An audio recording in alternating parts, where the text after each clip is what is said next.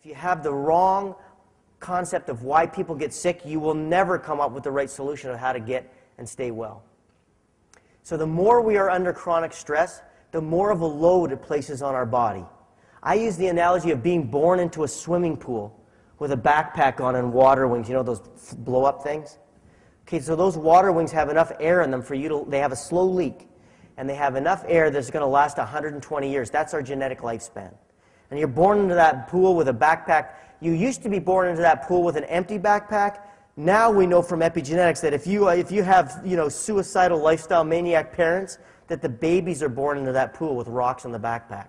They are born with an adaptive stress load at birth now. We have babies that are born insulin resistant because their mom eats so much junk food and sugar.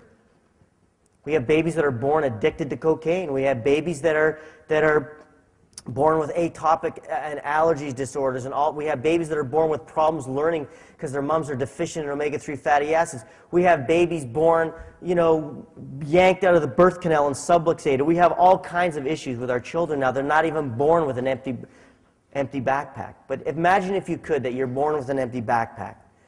What stress in your life represents is a rock in that backpack. And every time you put a rock in that backpack you sink a little bit lower in that water day to day life becomes a bit more of a struggle.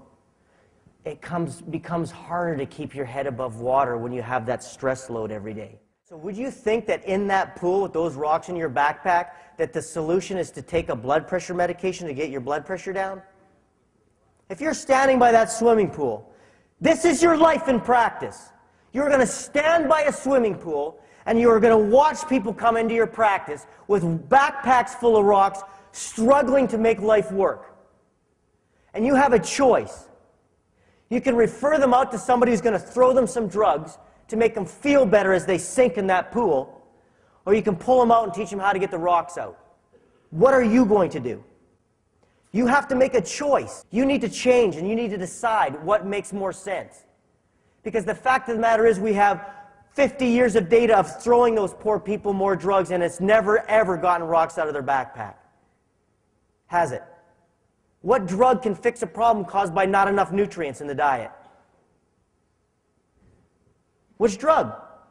Which drug can fix a problem by not enough exercise, sedentary living, chronic subluxation, terrible posture? Which drug can fix a problem that your parents, you don't have any self esteem, or you don't have any friends? Which drug can fix that? Well, I'm here to tell you that those are the things that are causing the change in blood pressure, and the change in cholesterol, and the change in fertility, and the acid reflux.